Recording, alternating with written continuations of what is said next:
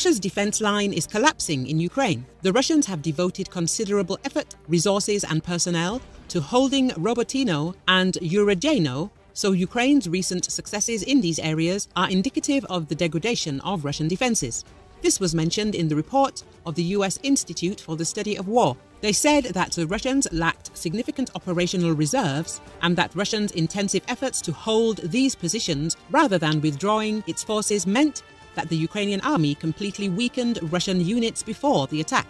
Besides, bringing Russian military forces here from other areas shows that the recent attacks of Ukraine have greatly weakened the positions of the Russian forces, which have been defending the west of Zaporizhia region without rotation since the start of the counter-offensive. Russia's lack of operational resources means that Russian troops will have to reinforce some sectors of the front at the expense of others. This will generally weaken Russia's defense lines and give Ukrainian forces the opportunity to use it. A retired Australian General Mick Ryan told The Economist that the defensive lines that Russia had built in Ukraine as much more complex and deadly than anything experienced by any military in nearly 80 years. Ukraine started its long-awaited counter-offensive in June, aimed at taking back territory in the east and south of the country, but it has made only marginal gains.